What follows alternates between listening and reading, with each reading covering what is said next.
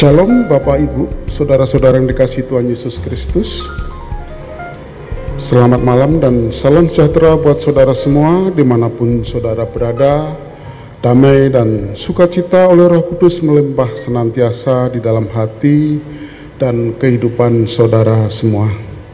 Saya berdoa agar kita semua bersemangat di dalam Tuhan dalam ibadah online, live streaming pada kebaktian rumah tangga dan pekan keluarga tanggal 4 November 2020 dengan tema Berjalan Bersama Tuhan. Ibadah pada malam hari ini akan dilayani oleh Pendeta Erna Demusti Putar-Putar SE SSI MM, Pendeta Jemaat GKP Tanjung Barat didampingi oleh Majelis Jemaat yang bertugas. Kami berharap seluruh jemaat telah mempersiapkan bahan renungan dan tata kebaktian yang telah dibagikan.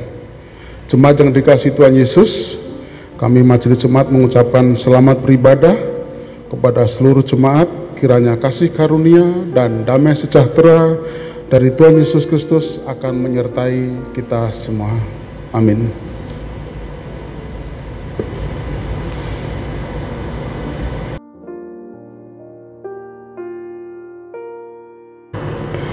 Jemaat yang dikasih Tuhan,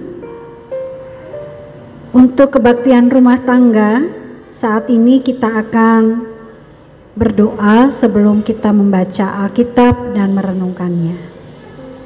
Bapa yang penuh kasih, kami mengucap syukur atas segala penyertaan, walaupun di masa pandemi ini kami Gereja Kristen Pasundan di jemaat-jemaat khususnya masih bisa bersama-sama untuk beribadah dan juga mendengarkan firman Tuhan, baik mereka yang sudah dapat melaksanakan secara onsite maupun online.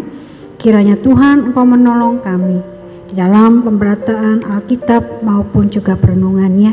Kiranya ada dalam pimpinan dan penyertaan Tuhan, baik bagi hambamu yang segala dengan segala keterbatasannya maupun juga dengan setiap hamba Tuhan lainnya yang mendengarkannya. Kiranya ada dalam kasih dan penyertaan Tuhan. Mari Tuhan kami serahkan seluruh keberadaan kami ini di dalam pemberitaan firman Tuhan yang sebentar lagi akan kami lakukan. Di dalam nama Tuhan Yesus Kristus kami berdoa.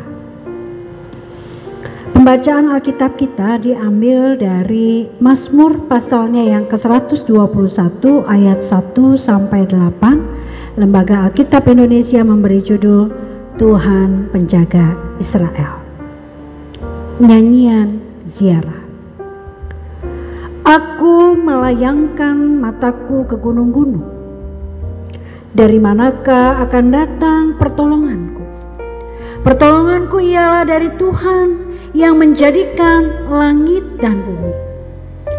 Ia takkan membiarkan kakimu goyah. Penjagamu tidak akan terlelap. Sesungguhnya tidak terlelap dan tidak tertidur. Penjaga Israel.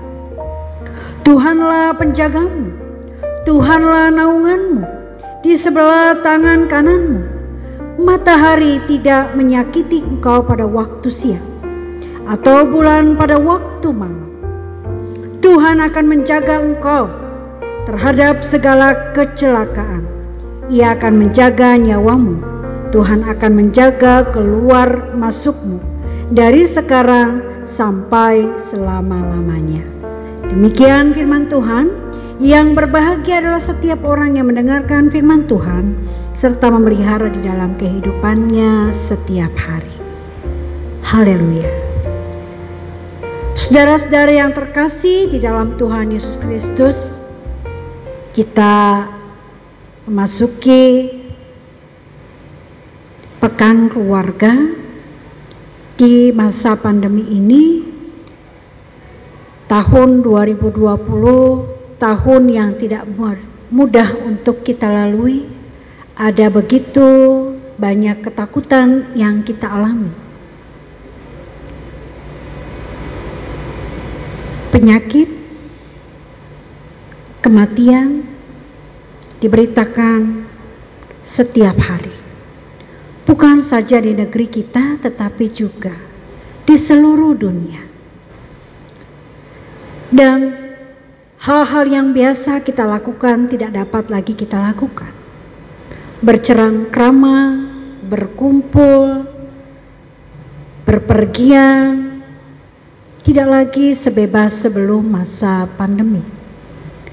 Tentu saudara-saudara ini membuat bukan hanya ketidaknyamanan, tetapi membuat kita mengalami kekhawatiran yang luar biasa bahkan ketakutan. Ketika ada berita orang yang kita kenal, orang yang kita kasihi, orang yang kita sayangi, orang yang dekat dengan kita terpapar virus COVID-19 ini, bayangan kita adalah ke depan kekelaman dan mungkin kematian. Dan kita tidak dapat melakukan apa-apa. Begitu pula situasi yang dialami oleh bangsa Israel. Bangsa Israel ketika digambarkan oleh Mazmur 121 yang merupakan Mazmur penjara yaitu orang-orang Israel yang melakukan perjalanan dari atau ke Yerusalem. Di perjalanan Bapak Ibu Saudara tadi dikatakan si penjara memandang ke depan melayangkan pandangannya ke sekeliling, ke gunung-gunung. Dia berpikir, di manakah pertolongan Tuhan? Begitu juga kegelisahan terungkap. Apa yang akan terjadi di balik gunung-gunung itu, dia tidak tahu. Apakah perjalanan yang dilakukan akan selamat sampai tujuan? Apakah itu ke Yerusalem ataupun ketika kembali ke rumah, ke kampung halaman mereka? Mereka tidak tahu. Apakah perjalanan yang mereka lalui itu akan berhasil dan selamat sampai tujuan? Bapak Ibu Saudara, saya pernah mengalami perjalanan yang seperti ini. Perjalanan real pulang kampung ke rumah nenek saya yang berada di, di balik gunung. Ketika kendaraan begitu kencang dan kemudian menanjak dan menurun, hati begitu was-was dan penuh kekhawatiran. Di pinggir kirinya adalah jurang, di pinggir kanannya adalah hutan dan pegunungan. Sehingga ketika menatap ke sekeliling ada perasaan takut. Saya membayangkan perasaan takut seperti itulah yang diungkapkan oleh pemazmur. Tapi sebagai umat Tuhan, sebagai orang yang melakukan penjara sebagai bagian untuk melakukan penyembahan kepada Tuhan pada masa itu pergi ke tanah Yerusalem, iman mereka bertumbuh menjadi kokoh dan kuat sehingga pemazmur bisa mengatakan pertolonganku ialah dari Tuhan yang menjadikan langit dan bumi. Bukan sekedar pede, bukan sekedar ah, itu sih biasa, tidak. Tapi didasari bahwa keyakinan pertolonganku itu adalah dari Tuhan. Bapak Ibu ingat kan? kalau kita fotum dan salam. Kebaktian ini terjadi karena pertolongan dari Tuhan. Sehingga ketika berada di satu perjalanan di mana dikelilingi gunung, bukan hanya dalam pertolongan, dalam angan-angan dan harapan, tetapi keyakinan bahwa Tuhan tidak membiarkan kakinya goyah Tentu kalau buat kita zaman sekarang nggak kebayang kaki yang goyah tuh kayak gimana. Karena ada banyak kemudahan. Walaupun dalam masa pandemi ini. Kita tidak perlu secara terus-menerus berjalan kaki yang cukup jauh bahkan berhari-hari. Maka ketika pemazmur mengatakan ia tak akan membiarkan kakimu goyah, itu sebuah keyakinan, sebuah kerinduan bahwa Tuhan yang membuat dia menjadi kokoh. Dan pemazmur melihat Tuhan itu sebagai penjaga all the time. Sepanjang waktu. Dia tidak terlelap, dia ter, tidak tertidur. Siapa itu? Tuhan lah penjagamu, Tuhanlah naunganmu. Di Alkitab bahasa Indonesia tulisannya huruf besar semua.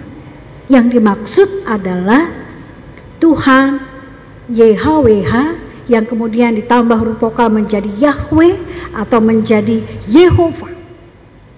Tuhan yang kita kenal oleh Yesus Kristus disebut sebagai Bapa pencipta alam semesta. Tuhan yang adalah Bapakku kata Tuhan Yesus dan Bapak kamu. Itulah Tuhan yang dimaksud dalam kitab Mazmur ini. Maka perlindungan Tuhan itu menyeluruh baik siang maupun malam. Jadi ketika kita menghadapi masa pandemi saat ini, saudara-saudara kita diajak untuk mengingat bahwa Tuhanlah yang menolong kita. Bahaya yang sedang mengintip kita Bahkan kalau kita kehilangan orang-orang yang kita kasihi oleh karena virus COVID-19 ini, kita punya keyakinan, kita punya kekuatan oleh karena pertolongan Tuhan. Bagaimana dengan dampak yang lain? Dampak ekonomi.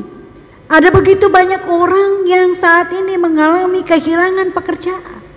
Ada UMKM, usaha kecil, para pedagang yang terpaksa harus menggulung toko sayur langganan saya tidak laku jualannya.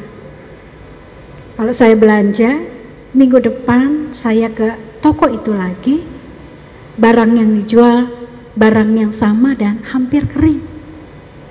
Ketika saya tanya, Bang, nggak bisa belanja baru lagi ya? Iya bu, tidak ada yang belajar. Begitu juga orang-orang lain. Ketika saya telepon, Bapak, saya mengganggu waktu Bapak. Enggak bu, saya udah enggak kerja. Ada situasi-situasi yang berat yang sedang kita hadapi bersama-sama saat ini. Apakah itu akan menghilangkan rasa ketakutan kita ketika kita bersama-sama? Betul, Bapak Ibu. Ketika kita merasa bahwa kita sedang bersama-sama dengan orang yang mengalami situasi yang berat, atau orang yang peduli, orang yang empati dengan keadaan kita, kita merasa dikuatkan. Apalagi ketika kita tahu orang itu dengan senantiasa mendoakan kita, membawa segala pergumulan yang sedang kita rasakan itu kepada Tuhan dan mengajak kita berdoa, mengajak kita percaya bahwa Tuhan itulah satu-satunya penolong hidup kita. Bapak Ibu Saudara, ketakutan yang sedang kita alami itu sedikit memudar dan berganti kepada harapan bahwa ada orang yang begitu mengasihi kita, ada orang yang begitu peduli dan ada Tuhan yang memberikan jalan keluar kepada kita. Saudara-saudara yang dikasih oleh Tuhan Yesus Kristus, maka kalau di dalam perjalanan kehidupan kita menuju tanah perjanjian, yaitu tanah di mana kita tinggal bersama dengan Tuhan. Ada yang menyebutnya Firdaus, ada yang menyebutnya surga. Tapi yang jelas kita akan tinggal bersama-sama dengan Tuhan. Dan kita tahu bahwa saat kita mengalami kesulitan demikian, ada Tuhan yang menolong kita dan Tuhan tidak pernah meninggalkan kita dan kita mampu melewati masa-masa sulit ini. Terutama bagi warga Gereja Kristen Pasundan, terutama bagi jemaat di Tanjung Barat, Tuhan menolong kita. Amin.